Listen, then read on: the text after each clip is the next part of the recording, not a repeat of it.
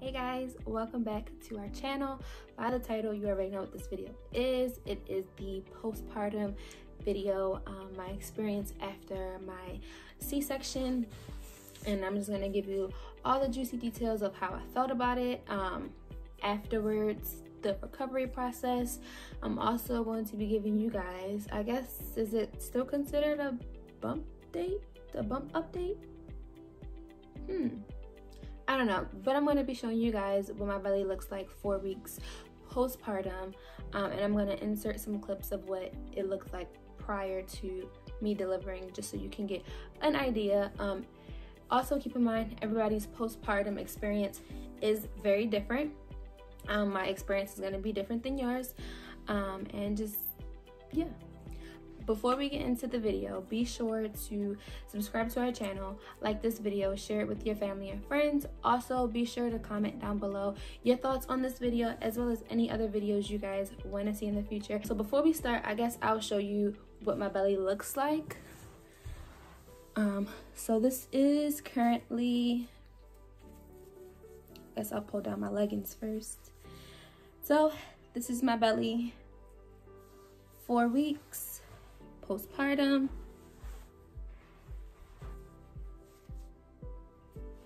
And I'll give you guys an up close view of what it looks like. So where to begin? Okay, so I guess I can start with the very beginning of the pregnancy. Um, very beginning of the pregnancy, I was 145 pounds, which is I guess pretty average for my age, height, all of that body mass information. Really don't know too much, but I guess that is average.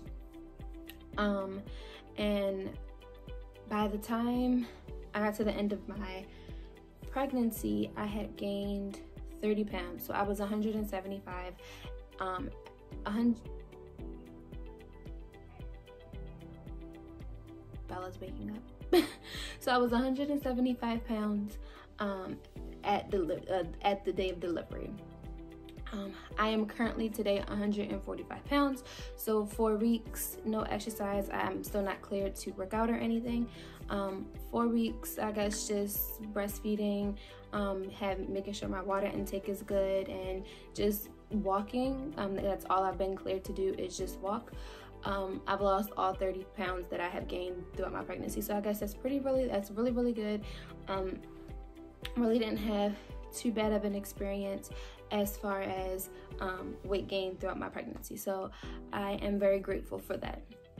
Now, there is, I did have a C-section, so I do have um, a scar incision, a scar from when the incision did happen. Um, it's a low scar, it's not a high scar. So if you don't know what that is, the low scar is one that goes from left to right. A high scar is one that goes up and down. Um, typically, if you have a low scar, um, that means for a second delivery, um, a second child, it doesn't necessarily mean you have to have a C-section delivery. You have a good chance of doing a vaginal delivery um, if that is what you desire to do, which is that's something that we desire to do, but we're not opposed to C-sections either, being as though my experience afterwards was really, really good. So after the C-section, after they wrote me out of the operating room, and they took took us to our um, they call it the mother baby um, mother baby wing which is where mother and baby will be recovering from delivery. Um, the first couple of hours were very very strange. Um, i had a catheter and of course because i had an epidural. Um, i requested an epidural. If you don't know what i'm talking about be sure to go ahead and click out of this video and go and watch our labor and delivery story um, so I did get a catheter because I did have an epidural. Um, and with the C-section, you will also have a catheter as well. Um, so I delivered the baby at 6.50 p.m. And my catheter was removed at 6.30-ish a.m. So it was removed. It was it didn't really hurt or anything. It was a very simple process. Getting up out of the bed after the C-section was very, very, very difficult. I really couldn't get up without the help of a nurse or without the help of Theo. So I'm very grateful that he was there. Um, it's definitely very difficult because you just had abdominal surgery. You just had surgery. Um, basically, right in the middle of your body, you just had a surgery. I was not able to really go to the bathroom by myself, so I did need assistance from the nurse as well as from Theo to go to the bathroom. Um, I did have a wrap, a postpartum wrap after the surgery, um, and the, what the wrap did, the wrap just sucked all of my organs. Tried it helped me, helped my body get my organs back in place. I 100% recommend you do wear the band. Um, the hospital does provide you with the band, and they will provide you with some to take home. Well, at least my hospital did. Don't know what every. I don't know if every hospital is the same. Um, however, I did purchase one on Amazon. I will link that down below. And that one was also, I think I linked it also in my, what's in my hospital bag. Um, so that one I liked a hundred times better than I did the hospital band. The hospital band was just Velcro and it was, it, it, it, it was extremely difficult to take uh, to take off as well as to put on. The other band that I purchased off of Amazon was hundred percent easier to put on my body um, by myself. So I definitely 100% recommend you get that. Even if you don't have a C-section and you're just having a vaginal birth, I 100% uh, 100% recommend you do um, take a look into getting a postpartum band um, because it can help you as well with um, getting your organs back together. You just had a baby and every all of your organs basically moved out of the way when your uterus was expanding for the baby. So I definitely do 100% recommend getting the band regardless. How I feel about my body um, post post baby. Um, when I first came home, I really was kind of like confused um, about how I felt about my body. I wasn't really 100% sure. But what I can say is um, I felt some type of way about having, of course, the the scar from my um from the c-section. So every time i looked at it i was just like uh this is gonna be there for the rest of my life. But when you think about all the things that your body does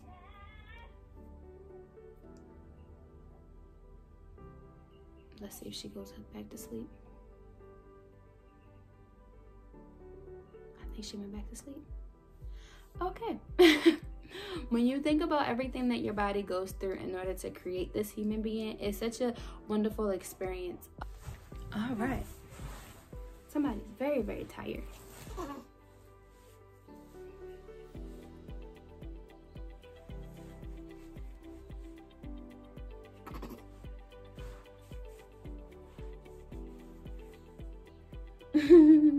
Hi, you wanna go back to sleep? Let's try to go back to sleep. You smiling? um, so, but now that I'm looking at like my incision, I definitely love um, my incision. Just the fact that it reminds me that I brought this beautiful angel into the into the world is such an amazing feeling. Um, I did get a, a few stretch marks on my belly, but just knowing that I had to go go through so much as a parent, um, you're always gonna go through things for the rest of my. Uh, I'm always gonna go through things for the rest of my life now, but now it's just like the what I had to go through in order to bring her into this world was definitely a hundred percent amazing and I definitely would not change it for anything. I would not change the process whatsoever. So I'm definitely very, very, very I love my I love my body. Um, I love my postpartum body, um, and there's nothing that I would change about it. When you first come home, like nobody talks about how your life basically stops and baby's life takes over um, you do have to what i can say is um, and what i did to like help with the thought of going through any type of depression or having any baby blues oh excuse me. What i will 100% recommend um, in order to help with not getting any of the like um, postpartum depression or the baby blues is making sure that you find time for yourself. So um, I know, well, with me, breastfeeding is very difficult trying to find like time for myself, um, but that can consist of multiple different things. you smiling in your sleep? You so tired, girl.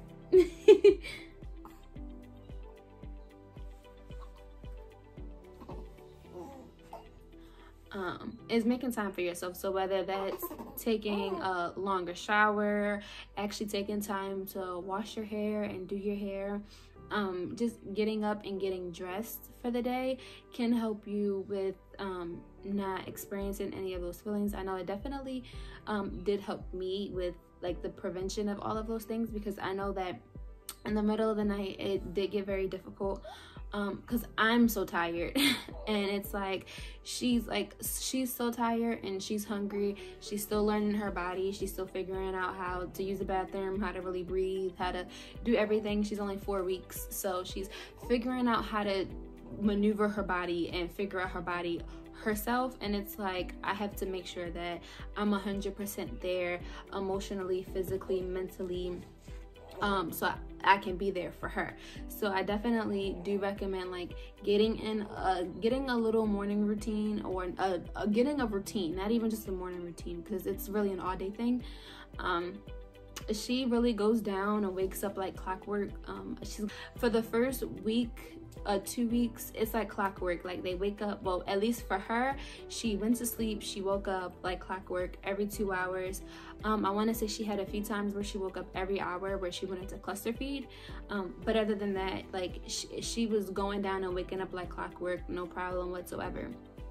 Also getting your partner involved the child's father um, is 100% another way to prevent all of those things.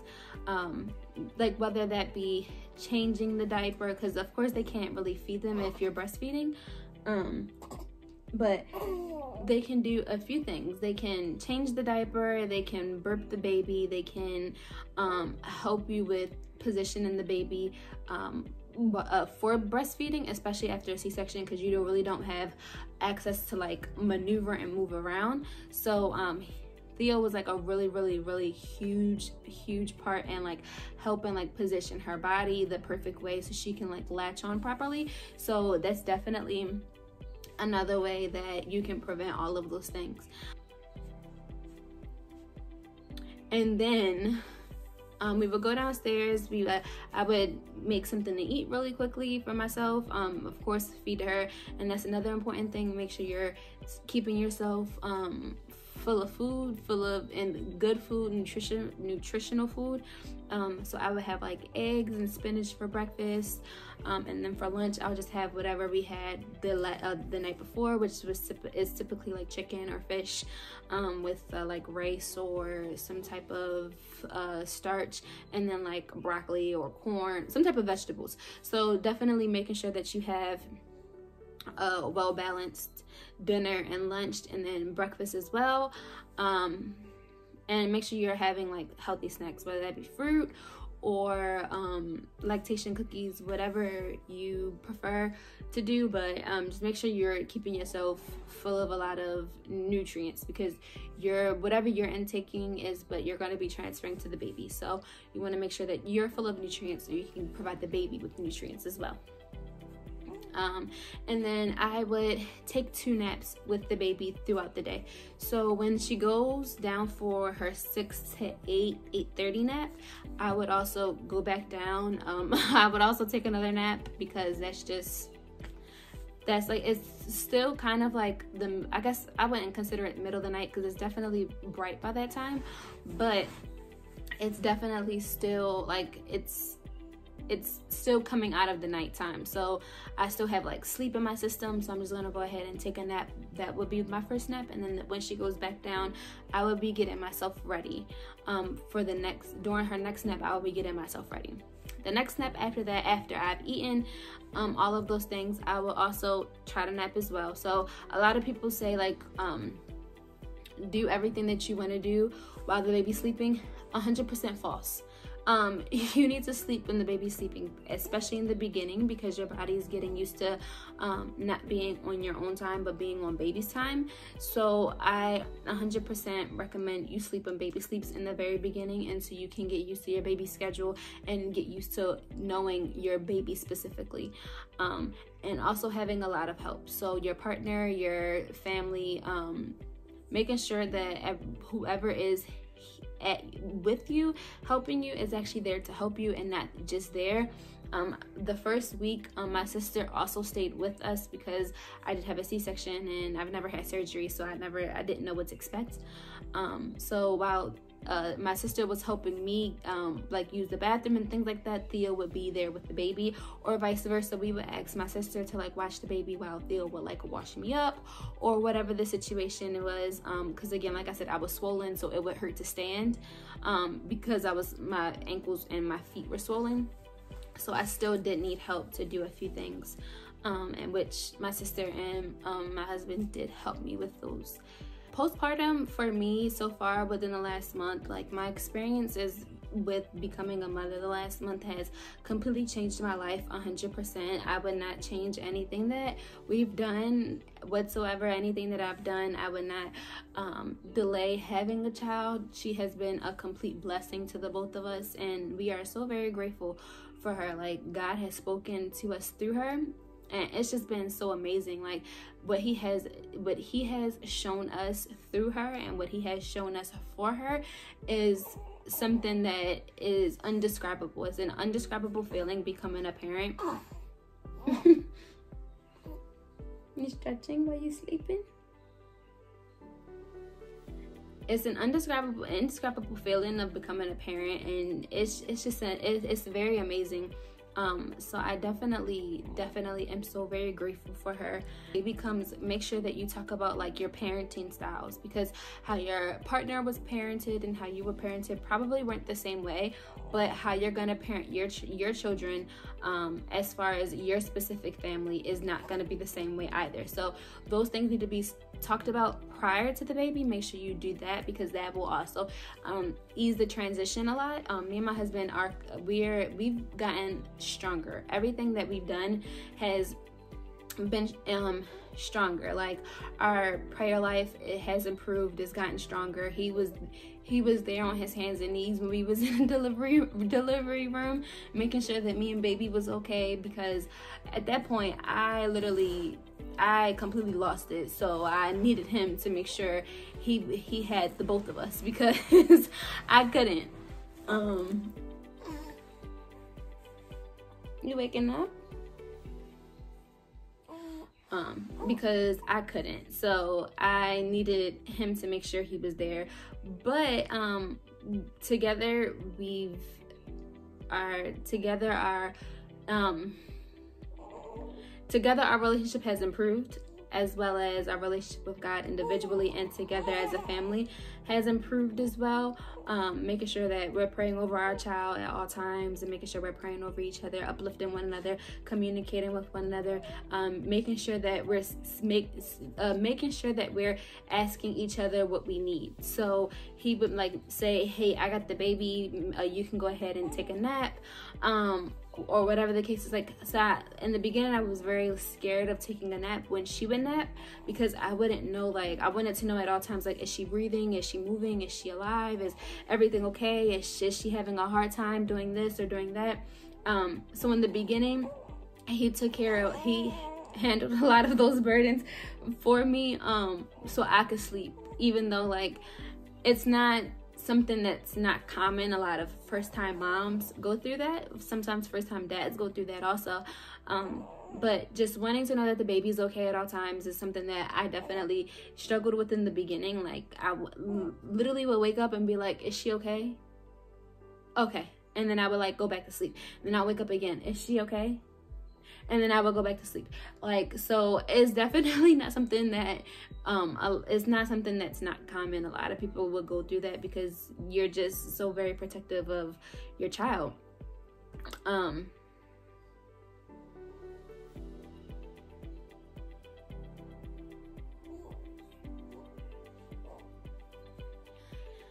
so I guess I can wrap this video up now. Um, if you guys have any questions with like how any other postpartum questions, please make sure you comment them down below or you message me on Instagram and let me know. Um, any specific questions that you have regarding like the C-section recovery or regarding like um, the changes in me my husband's life and relationship once the baby was brought into the world i will definitely talk to you about that um, but again like i mentioned in, the, in, earlier in the video everybody's experience is going to be very different um, recovery uh, recovery wise so just keep that in mind um, so yeah I would show you baby, but I guess I can still show you baby. She's sleeping. My little angel. My little angel bug. Um, so yeah, so you wanna do the outro, mama? you trying to sleep? Okay. so guys, before you leave this video, make sure you like this video, give it a huge, huge, huge thumbs up. Make sure you subscribe to our channel for all of the new content that we'll be bringing out because we got a lot of content coming out for you guys. Um, make sure you comment down below any videos, any suggestions that you guys want to see from us. Um, also, faith related videos will be coming back very soon. Um, I will be bringing the devotionals back, so uh, keep an open eye out for that. But in the meantime, we love you guys. We appreciate all the support, um, and we'll see you guys in the next video.